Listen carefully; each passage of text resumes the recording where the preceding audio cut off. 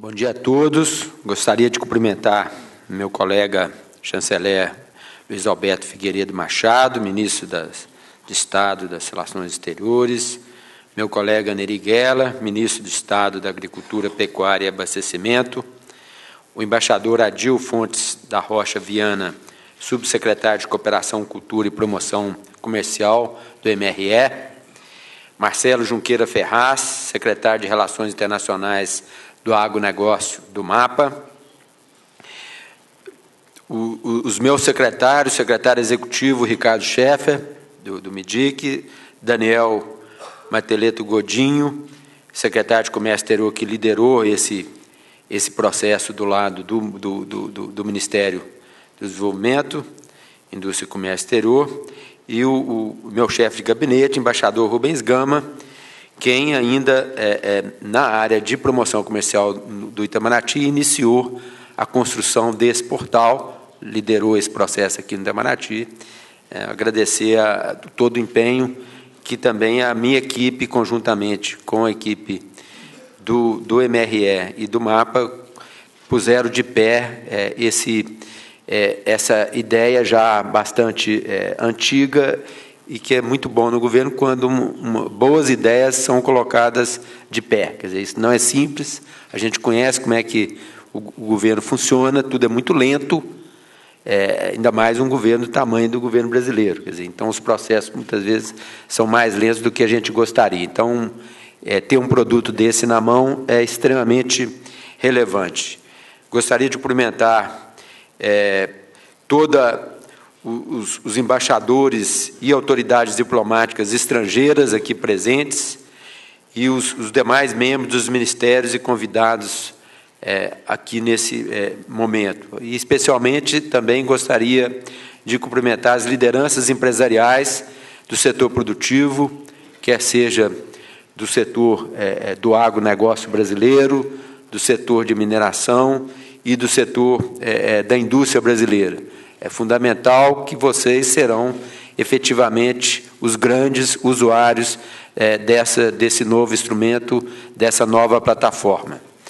É, em primeiro lugar, eu gostaria de enfatizar o que o, é, o ministro Figueiredo já é, falou no seu discurso organizado, né, estruturado, e o, o, o, meu colega Neriguela, é, que é sobre o, a, o instrumento em si. Quer dizer, esse instrumento ele é, é, é uma, uma, uma, uma, plataforma é, extremamente relevante porque ela cria é, uma, uma coordenação de um conjunto de informações que já eram produzidas pelo governo, mas com um nível de coordenação ainda é, é, muito é, é, específico de cada ministério.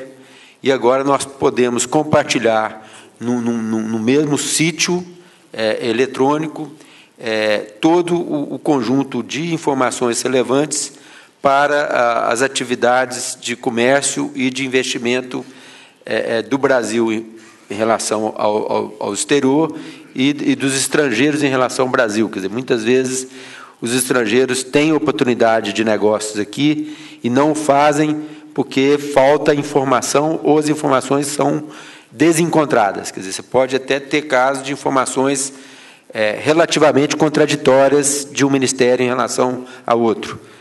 O fato dos três principais ministérios vinculados ao, ao, ao comércio exterior estarem integrando informações numa única plataforma torna, é, do ponto de vista de, é, é, de simetria de informação dos agentes produtivos, é, um, um, elemento extremamente é, positivo para o incremento é, do comércio e o incremento do investimento é, recíproco, tanto do Brasil para o exterior, tanto do, dos estrangeiros aqui no Brasil. É, esse também é, é, é, mais um avanço de outras plataformas que nós estamos construindo é, no momento é, atinentes ao comércio exterior brasileiro.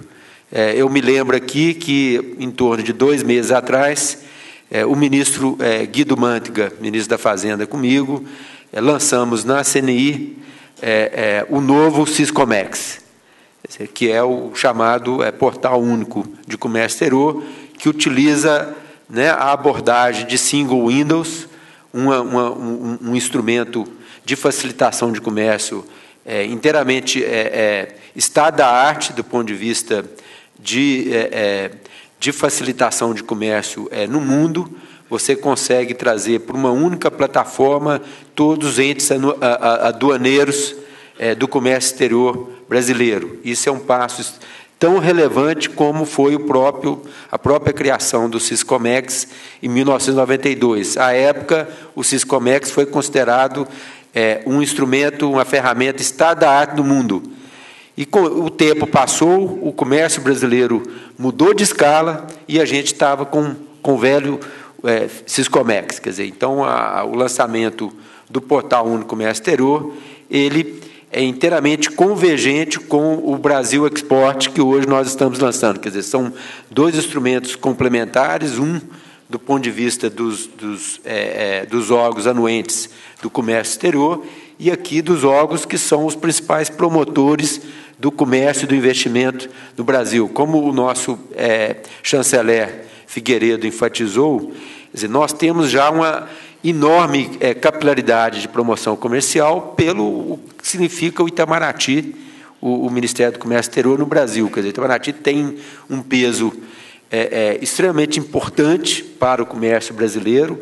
A capilaridade do, do, do, do, do Itamaraty ela é, é, extremamente ampla, particularmente na, na última década houve uma grande expansão das embaixadas do Brasil e, consequentemente, da capacidade do país de realizar a promoção comercial e de atrair investimento. Quer dizer, então, essa grande plataforma institucional que é o Itamaraty, e tudo o que ele representa em termos de competência, ele é, na verdade, o grande cimento para viabilizar o Brasil Export e, e consequentemente, o, tanto o Ministério da Agricultura como o Ministério é, da Indústria e do Comércio é, é, estão se aproveitando dessa enorme plataforma institucional que é o nosso Itamaraty. Então, essa, essa é uma base fundamental para que o Brasil Export não seja apenas é, um simples site, né, um sítio de, de informações, mas ele está ele tá, ele tá ancorado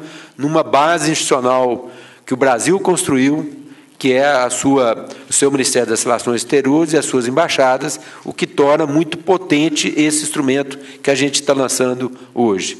O outro aspecto que eu, que eu gostaria de ressaltar é, nesse pronunciamento é que o, o, é o que, que nós estamos falando aqui é, como, quando a gente é, fala de comércio exterior no Brasil. Nós estamos falando de um comércio que mudou inteiramente de escala. Quer dizer, no início é, da década passada, do início dos anos 2000. É, aqui todo mundo aqui é, é, é, é, são pessoas relacionadas a esse tema, a esse ramo de, de, de assunto, né? A gente sabe que o comércio exterior brasileiro era, é, na escala, aproximadamente de 120 bilhões de dólares. E hoje o nosso comércio, o nosso corrente de comércio está aproximando de 500 bilhões de dólares. Então, nós estamos falando aí de um aumento de quatro vezes é, do comércio brasileiro num período de dez anos. Isso é uma grande revolução do comércio exterior brasileiro. É, eu vi ontem uma, uma, entrevista do importante economista é, muito conceituado no Brasil, é, é, num dos grandes jornais brasileiros, dizendo que o Brasil continuava como é, o segundo ou terceiro país mais fechado do mundo eu fiquei muito decepcionado tratando-se de, um, de um, um, um, pesquisador, um economista, que eu tenho muito respeito, de dizer algo desse tipo num comércio que representa meio trilhão de dólares hoje. Quer dizer, isso não é verdade. O Brasil hoje é um país que tem um nível de abertura comercial próximo dos países grandes, com exceção da China, que é um país que teve um modelo inicial de crescimento baseado nas exportações. Nesse sentido, o nível de abertura chinesa, é, que é a corrente de comércio em relação ao PIB, é acima de 40%, mas os países grandes tradicionais do Ocidente têm é, um nível de abertura muito próximo ao, ao que é a economia brasileira hoje, só para fazer a comparação que é o nosso sempre o nosso grande paradigma, que é os Estados Unidos. Quer dizer, o nível de abertura americano ele é pouco acima da abertura brasileira. O Brasil está em torno de 22%, 23%, depende da, da, da medida que você usa, e os Estados Unidos em torno de 25%, 26%. Quer dizer, nós estamos. É, a relação da corrente de comércio em relação ao PIB, que é a, a medida usual de abertura. Então, esse tipo de, é, é, é, de, de observação é para dizer que a nossa escala de comércio hoje merece instrumentos inteiramente é, é, compatíveis com os, os, dias que nós vivemos hoje. São os, não, né, nós vivemos momentos onde a, a força é, é, da, das ferramentas digitais ela é fundamental para a efetivação do comércio. Quer dizer, né, hoje é inconcebível você pensar num comércio dessa dimensão, dessa escala, que é o comércio brasileiro, é, sem ferramentas inteiramente é, é, capazes, é, do ponto de vista é, da informação, né, de a velocidade da informação, do acesso à informação, de você poder dar respostas muito rápidas e efetivas para as necessidades dos atores do comércio é, é, exterior, principalmente do setor produtivo brasileiro e dos investidores é, brasileiros e investidores estrangeiros no Brasil. É, portanto, considero que é, esse instrumento ele é compatível com a importância do comércio exterior brasileiro dos dias de hoje. É, tem um desafio também muito importante. Hoje, dizer, hoje eu, eu, eu, eu tive o capricho de, de, antes de vir para cá, dar uma lida nos jornais, na, na, na, grande imprensa brasileira. Tinha um outro comentário relativo a uma a coletiva que nós demos ontem lá no MIDIC, é, é, é, decorrente de um balanço né, da, do, do, do comércio exterior brasileiro no primeiro semestre desse ano, como vocês sabem, ontem foi o dia 1 de, de julho, nós fechamos no dia 30 de junho, seis meses, né, um semestre do comércio exterior deste ano. E um comentário que até é, passou é, é, é desapercebido é, por nós mesmos que estavam dando a entrevista coletiva, é que, é, como há, há muitos anos não acontece, os produtos básicos passaram de 50% da pauta exportadora brasileira. Evidentemente que a grande imprensa estava é, é, enfatizando isso como um, um, fator negativo da pauta de comércio brasileira. E eu me lembrei do, do ministro Neri Geller, ele, ele fez uma, um, pronunciamento antes de mim aqui, enfatizando a grande competitividade do agronegócio brasileiro. Quer dizer, então, o que eu gostaria de dizer é que é um privilégio você num contexto internacional tão adverso, ter uma base de produtos básicos, particularmente o nosso agronegócio, tão competitivo no mundo. Por quê? Tem uma questão puramente econômica, quer dizer, a gente diria que as, as elasticidades, rendas dos produtos industriais e produtos básicos são muito diferentes. As elasticidades de renda dos produtos básicos são bem menores do que dos produtos industriais. Como o nosso grande teórico da América Latina, Raul Prebst já né, teorizou isso há, dos anos 50, ele dizia que nos períodos é, é, de, de, vacas magras, né, de, de baixo nível de atividade econômica mundial, os países com uma base agrícola muito forte tinham vantagem comparativa, porque a sua redução relativa de demanda era menor do que a redução relativa de demanda dos países industrializados, que tinha uma sensibilidade muito grande da renda mundial em relação às suas exportações. As suas exportações eram altamente sensíveis ao nível de renda mundial. No nosso caso, que temos uma base é, é do agronegócio e uma base mineral extremamente punjante, é, é um privilégio você, no momento é, de vacas magras do comércio internacional, você ter produtos também de baixa elasticidade de renda. Ou seja, são produtos essenciais que vão ser consumidos a qualquer custo, são bens essenciais como alimentos. Quer dizer, nenhum chinês vai deixar de alimentar, de reduzir sua ração alimentar básica da sua família em função de uma mudança conjuntural da economia.